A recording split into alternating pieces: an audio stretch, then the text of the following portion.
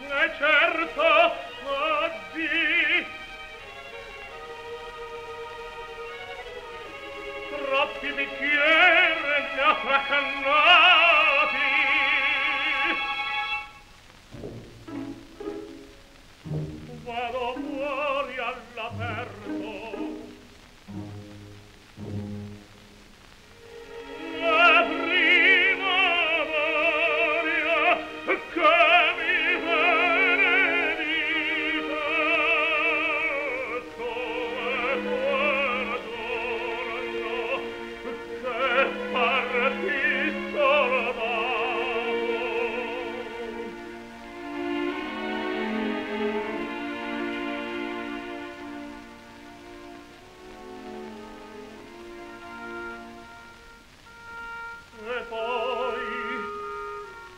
mamma sentite Sion tornò